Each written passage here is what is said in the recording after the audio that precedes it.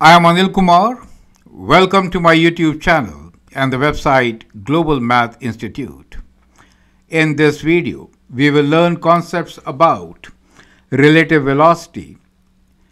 We'll see how do we represent the vectors, how do we resolve these vectors, add them and find the resultant, especially when we are talking about relative velocity.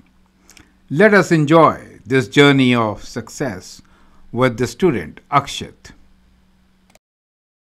Uh, then you were also saying that you might be doing uh, velocity and uh, those applications, right? Force and velocity. Yes, sir. So we look into vectors applications, velocity. Yeah. So we normally have applications where we're talking about relative velocity. Right. Okay.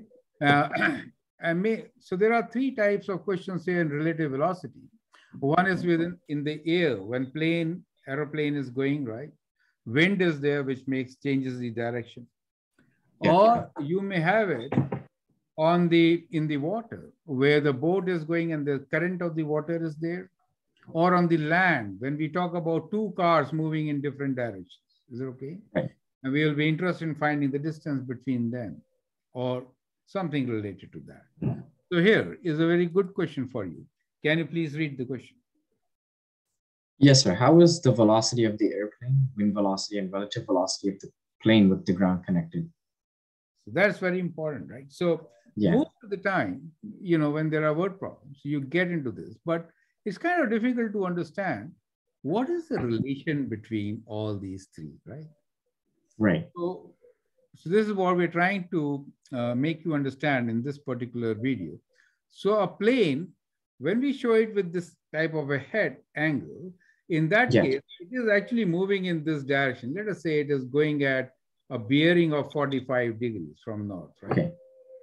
But now there is wind, which is pushing it down. So actually, it does not go like this, but it moves like this. Do you see that? Right. Yeah. it is moving in this fashion. So when we show the plane, we show the heading. This is it is heading in this direction, but wind is going here, so it actually moves horizontally also, and it does not Yeah. go at the intended place, but it goes to the third point. You get the idea. Yeah. When we say ground velocity, that means a relative velocity. The resultant is what that gives you the resultant velocity. Is that clear to you? Yes, sir. These are the three terms which are very well connected as shown in this particular diagram. So now here, uh, let me just go further so that all the terms are absolutely clear to you. So we have just randomly picked up some values to give you a diagram and to understand how do we solve such questions, correct? Correct. Vp is the velocity of the plane. We have taken that to be 400 kilometers per hour. From north, it is 30 degrees east. So that 30 degrees is shown, right? Yeah. Vw is the wind velocity 80 kilometers per hour, bearing of 130 degrees. Bearing angle is always measured clockwise from north. So Mm. 130 will mean like this as shown as O to B, right? O to B is 130 degrees, that orange line. Ground velocity, velocity of the plane with respect to ground, it is also called the resultant velocity. So Yeah. resultant velocity and the ground with respect to ground, same thing. Yeah. Sometimes, uh, you know, resultant is kind of commonly used, but ground velocity is not so commonly used. And therefore, students might get confused at times. So, you know, this vector O to B can be translated. Keeping it on A, we get A to C, which is parallel Yes. and equal to OB. And therefore, the resultant is O to C. Right? Now, Yes, in this angle is O to A is 30 degrees, O to B is 130 degrees. Their difference of 80 degrees is at A. We know 400 and 800 as two sides of a triangle with included angle of 80. And therefore, applying the cosine law, we can easily find O to C. That is the resultant, right? Yeah. And the direction we can find using sine law Signing. once we get there. So that is how we are going to solve relative velocity questions. Is that clear to you? Yes, sir. Yeah. Any question for that matter, but the concept remains just as shown here. So you have Right. to draw a neat and clean diagram as shown here and then work on it. Is that clear? Yes, sir. So let me pick up another question which is similar to this. Okay, now here is another diagram. Can you please read the question and relate to the diagram? Today, our idea is to understand how do we solve these questions, right? Yeah. Once you get conversant, you can do any question from your book, right? Yeah, Right. read the question, please. Yes, sir. A pilot wishes to fly on a bearing of west 22 degrees north with the ground speed of 300 kilometers per hour. There is a 60 kilometers per hour wind from the direction south 15 degrees west. Calculate the heading and the airspeed that the navigator should use. Right. What is the meaning of ground speed of 300 kilometers per hour? Can you explain? Yes, sir. Uh, like we just discussed, it would be the resultant. resultant is given to you this time and we Right. want to find where was the plane heading correct you Correct. understand now the terms diagram Yeah. is before you so a pilot wishes to fly on a bearing of from west 22 degrees north right No. so Yeah. given here right from west 20 now there is 60 kilometers per hour wind in the direction south 15 degrees west which is also Right. given to you and calculate the heading so all these angles given to you help you to find the angle at that vertex where two sides are so you have to find the included angle in this Right. case it happens to be 83 degrees and that included angle and the two sides will give you the third side using cosine law and Right. then you get the idea Yes, sir. Got it. so all these questions are actually done in this fashion. Yeah. Okay. So next, let's see what is the next.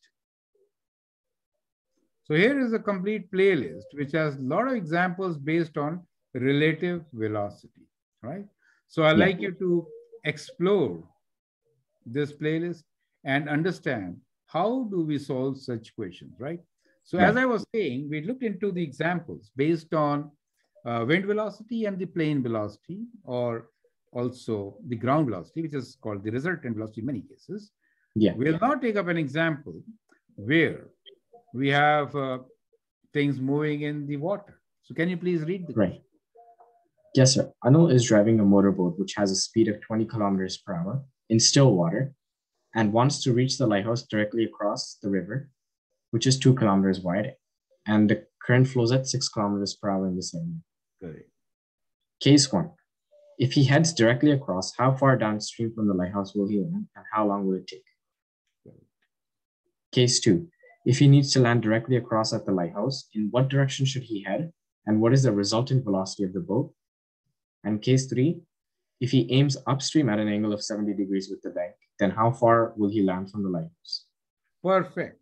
This is one of the best examples Yeah, where I have considered all the three cases in one example, right? right. So we're given a situation. We know what is the stream uh, velocity or the river velocity. We know the width, which or the distance to be covered, right? Across Yeah. horizontally. And what could happen? You could head straight to the Straight. point, but you will land down because of the Down. of course. Right. You could aim upwards and land somewhere else. You don't know what angle, but you may calculate the angle so that you land exactly where you want to land. So these are the three important cases. Only questions are based on these three cases. Perfect. So once Yeah. you do this example, which uh, seems to be of half an hour long, you will understand complete concept on this chapter of relative velocity. You get the idea? Yes, Now, once you've done that, then you should actually explore. There are 21 other videos in this particular playlist. They should help you to master the technique. and you get the idea. Right. Yeah. So what I'd like you to do now is actually uh, get into one of these playlists and uh, get ahead of your because you already done the test paper on Right. unit one, which is Yeah. in algebraic uh, working or operations on vectors. And next is the application, where see relative velocity uh, to work with. In the next class, we can discuss force. Yeah, yeah. So that we could do. Is that okay? Yes, sir. Sounds good. So we can stop uh, uh, playing this. But can you now summarize your learnings from today's class? Yes, sir. So in today's class, we actually finished the last chapter and also began the new one. So with the last chapter, I think um, the examples in your test really solidified my understanding of R squared and R cubed. And um, I think without even actually drawing the prisms and everything, I have a better understanding of how to approach the problem now. And then with respect to the velocity problems we just did, I think it's very similar to the to the physics problems we had. But now we have to like actually see the numbers and see how we can relate vectors to them. Yeah. I will suggest with velocity at least six, seven examples you should yeah. draw accurately, right? As given. Right. Once you make that drawing, then uh, you have to understand that you need to find the angle which is mm, yeah. corner where the two right. sides are given to you. Apply the cosine. Once you get the third side, apply the sine law to get the rest of the angles. And right. write your answer with respect to uh, bearing angle, which is always measured from north, or yeah. from given reference. So mention yeah. the reference when you write down the answer, right? So yes, that will help you to uh, get full marks in this particular chapter. Okay? Yes, sir. Great. So we'll end there, but that practice test which we took, uh, yeah. you should do it on your own uh, anytime. Yes, sir. I'll solve it again. Great. Okay, then. All the best. Thank you. Thank you, sir. Bye. Have a great day.